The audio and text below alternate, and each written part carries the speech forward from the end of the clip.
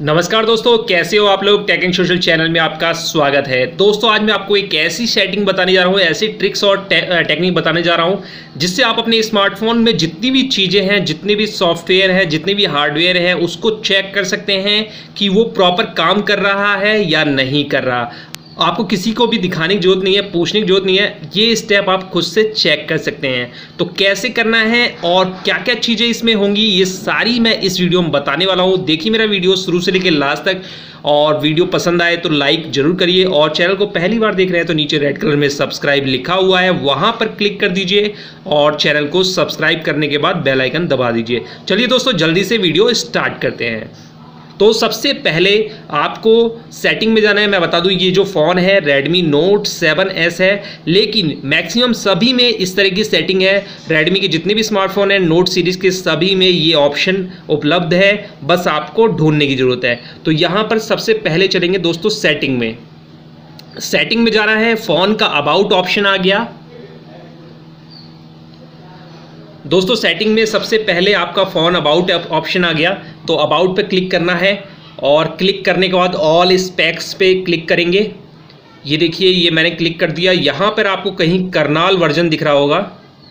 ये देखिए, यहाँ पर लिखा हुआ है करनाल वर्जन तो इस पर आपको पाँच बार क्लिक करना है। एक, दो, तीन, चार, पाँच। ये पाँच बार क्लिक करने के बाद आपके सामने ये ऑप्शन आ गया।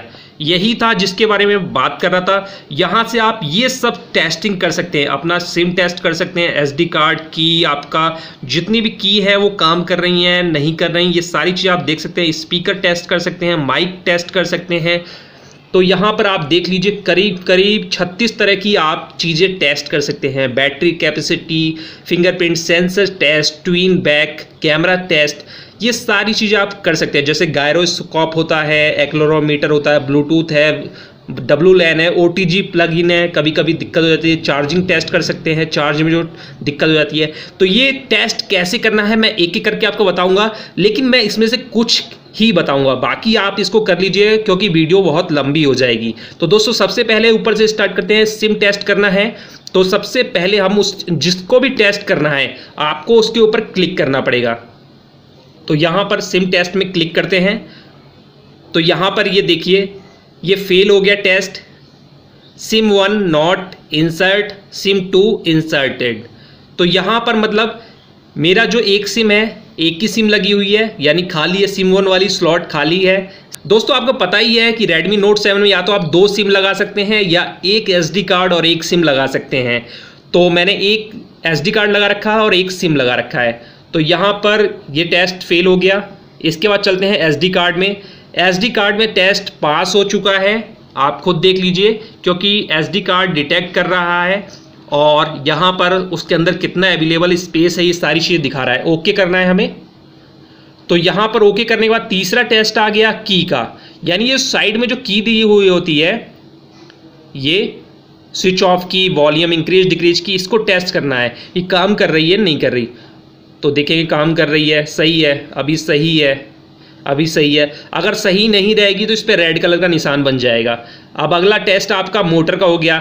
यानी आपके फ़ोन में जो वाइब्रेशन वाली मोटर लगी होती है, वो सही काम कर रही है या नहीं कर रही, ये आपको देखना है। तो यहाँ पर तीन तरह की जो मोटर है वो तीन तरह का काम करती है। एक तो कंटिन्यू वाइब्रेशन करती है, एक वाइब्रेशन नहीं करती, और तीसरा जो ऑप्शन है इंटरवल वाइब्रेशन रुक रुक के वाइब्रेशन करती है। तो यहाँ पर मैं जैसे ही इसको दबाऊँगा तो ये कंटिन्यू वाइब्रेशन हो रहा है। ठीक है? जो कि मेरे हाथ में मुझे खुद महसूस हो रहा है। ये नो वाइब्रेशन वाला ये इंटरनल वाइब्रेशन तो ये हाँ ग्रीन कलर है, इसका मतलब टेस्ट पास हो चुका है और ये सारी चीज़ें हो गई हैं। अब यहाँ पे टच पैनल सेल्फ टेस्ट करके देख लेते हैं। ये टेस्ट हो रहा है। टेस्ट पास हो चुका है। अब यहाँ पर आपकी टच में कहाँ दिक्कत है वो आप देख सकते हैं।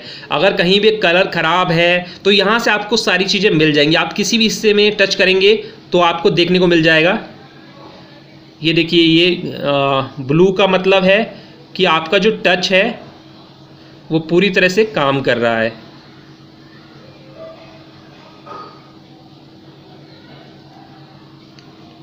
तो ये काफ़ी कमाल की सेटिंग है। इस चीज़ को तो मैं दिखा दे रहा हूँ क्योंकि डिस्प्ले में ही काफ़ी दिक्कतें होती, आ जाती है, क्योंकि फ़ोन जब गिरता है तो। अब मैं इसको सारा दिखा दे रहा हूँ, देख रहा हूँ इसका कौन सा पार्ट रह जाता है।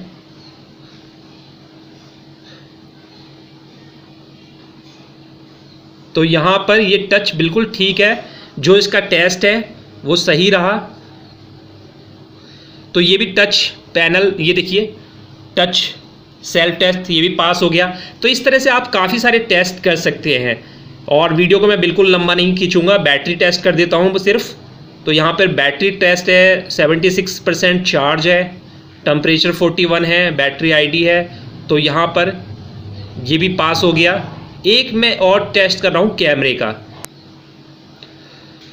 यहाँ पर मैं ये जो बैक कैमरा है, उसका टेस्ट कर देता हूँ। बैक कैमरे का देख लो। जूम, ओके तो ये सारा आप देख लो। ये टेस्ट भी पास हो गया। तो यहाँ पर आप देख सकते हैं कि कैमरे का फ्रंट कैमरे का बैक कैमरे का टेस्ट पास हो चुका है। तो यहाँ पर ये सारे टेस्ट पास हो चुके हैं। बाकी आप खुद भी कर सकते हैं, काफ़ी टाइम लगेगा। तो कभी भी अगर आपको मिस्त्री के पास जाना है सर्विस सेंटर जाना है तो आप खुद से भी अपने फ़ोन को चेक कर सकते हैं, देख सकते हैं। दोस्तों, अगर वीडियो अच्छी लगी है तो लाइक, शेयर ज़रूर करें और हमारे चैनल को सब्सक्राइब कर लें। थैंक यू दोस्तों, मिलते हैं अगली वीडियो में।